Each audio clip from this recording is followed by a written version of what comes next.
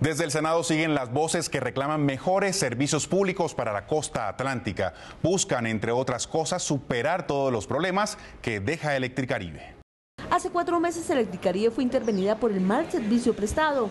Hoy hay preocupación de los senadores por las deudas que dejó. Ante este panorama, la pregunta es saber qué operador o operadores se le mediría llevar la luz a la costa caribe. Que queden dos o tres operadores en la costa caribe, porque un operador que demanda el 25% de la energía de Colombia genera un riesgo sistemático muy alto. Y lo que requerimos propiamente es, venga, busquemos un operador que garantice esto con calidad, busquemos realmente los recursos de esa inversión. 12 millones de habitantes quieren una empresa con un músculo financiero suficiente para que llegue y preste un buen servicio. Electricaribe tiene un pasivo de 2.5 billones de pesos, tiene un pasivo laboral de 1.5 billones de pesos y necesitamos una inversión en el sistema eléctrico de la costa de más de 500 millones de dólares. El senador Jorge Hernando Pedraza aseguró además que el gobierno español estaría presionando en defensa de Electricaribe.